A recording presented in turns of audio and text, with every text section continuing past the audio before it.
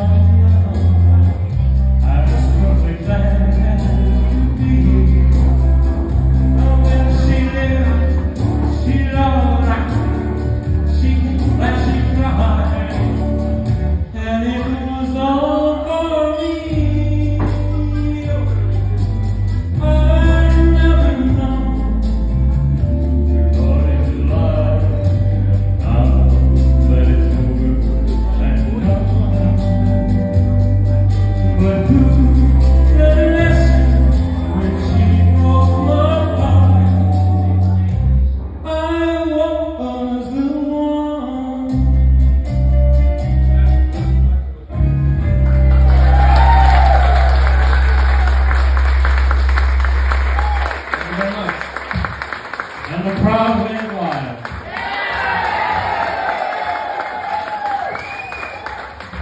Audience.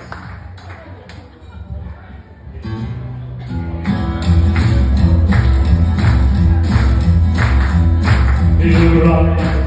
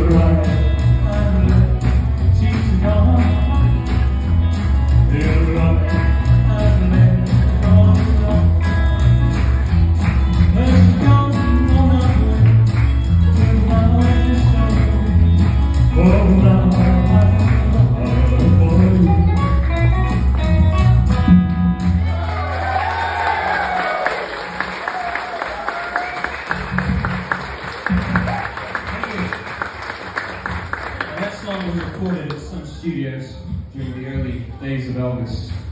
And it's not always a very well-known song.